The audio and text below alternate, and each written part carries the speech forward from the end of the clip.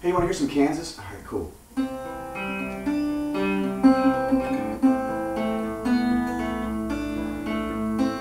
The chords just uh, came to my mind, and so I wrote this song.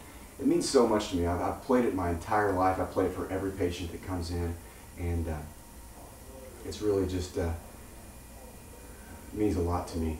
So I'd love for you to hear it. Okay? Ready?